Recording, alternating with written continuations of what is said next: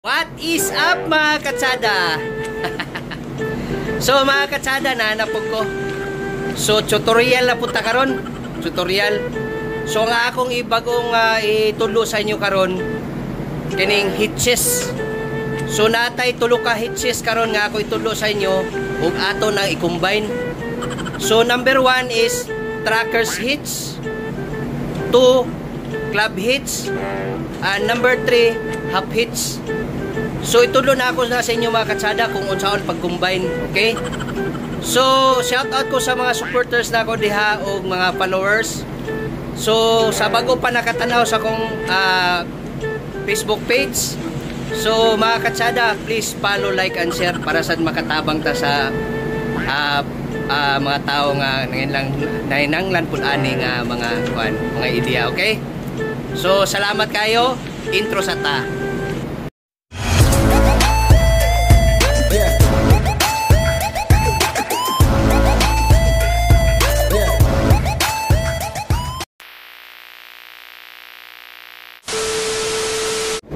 So atong unang buhaton mga katsada, maghimo ta og club hitch with slip knot.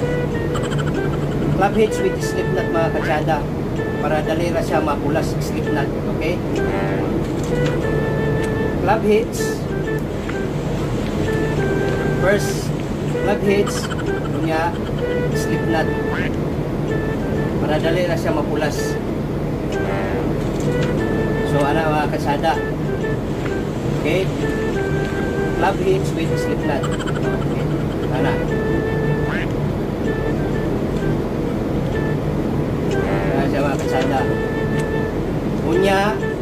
Maghimo puta o trackers hitch.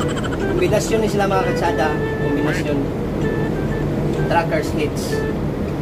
So, maghimo tag loop una. Loop. Unya, sulod nato ng isa ana mo siya mo ni siyang trackers hits kunya utang nato dire. Kay para pwede nato mahuktan isod nato ni.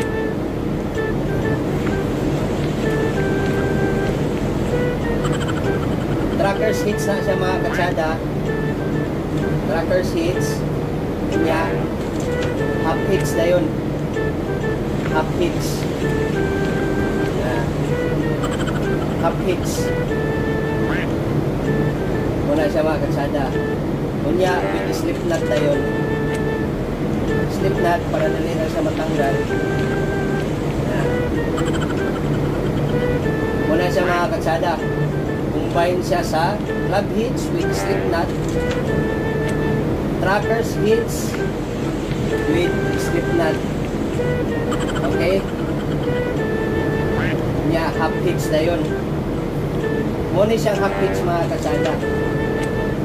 Muna siyang isulod nato sa trackers nuts. Trackers hits. Half hitch. Una, kunya, slip na yun para dali ka siya mapulas. Okay? wala siya mga para dali na siya mahuktan para dali na siya mag-isa wala siyang ay sa trackers kids na na half kids na yun. Half kids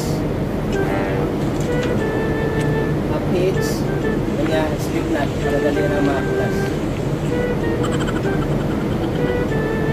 Okay mga katsada So, mura na siya. Mura na siya mga kasada.